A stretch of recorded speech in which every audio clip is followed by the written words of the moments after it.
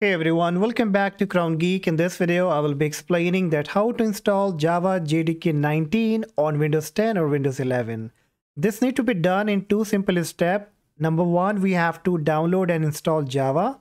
And the next step, we need to add the Java path to Windows environment variable. Alright, but before proceeding, let me show you that if I type CMD in the search box and open command prompt and type here Java space version. So you can see it says unrecognized option which means that I do not have Java right now. All right? So let me close it. You need to open this website. The link will be in the description. And on Windows look for x64 installer. And on the right of it click on the link. And the downloading will be started. On Google Chrome it will show at the left hand corner. And on Microsoft Edge or Explorer it will show on the right hand top so depending on your internet connection, it may take some time. It's around 159 MB, so kindly wait. Once downloaded, you have to click on the downloaded file.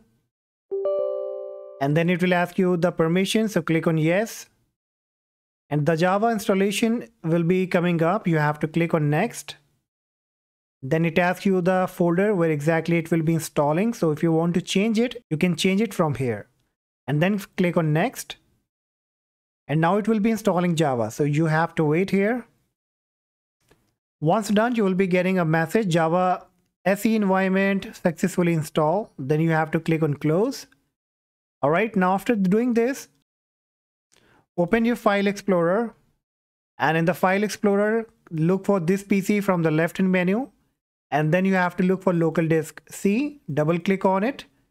And then you have to look for program files, double click on it then double click on Java, then on Java 19. And here you have to look for bin, double click on bin.